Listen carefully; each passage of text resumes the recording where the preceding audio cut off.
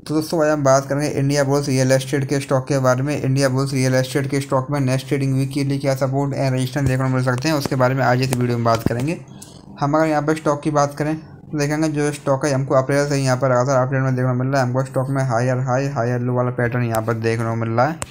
आज हमको यहाँ पर स्टॉक में one point seven six percent की यहाँ पर गिरावट देखने को मिली है। तो यहाँ से हम स्टॉक में बात करें। अगर यहाँ से स्टॉक में गिरावट कंटिन्यू रहती है तो यहाँ से अभी और गिरावट कंडीशन में हमारे पास स्टॉक में seven seven point four five का पहला यहाँ पर सपोर्ट देखने को मिल जाएगा। अगर स्टॉक ने यहाँ पर इसको ब्रेक किया देन हमको यहाँ पर स्टॉक में seventy three point two zero इसके बाद हमको यहाँ पर स्टॉक में sixty nine point nine five और अगर स्टॉक ने यहाँ पर इसको भी यहाँ ब्रेक किया देन यहाँ से हमको स्टॉक में सिक्सटी सिक्स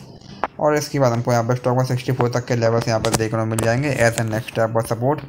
भाई यहाँ से अब अगर स्टॉक में रिकवरी आती है तो यहाँ से अब रिकवरी कंडीशन में हमारे पास स्टॉक में एट्टी पॉइंट नाइन का पहला यहाँ पर रजिस्टेंस देखने को मिलेगा। अगर स्टॉक ने यहाँ पर इसको ब्रेक किया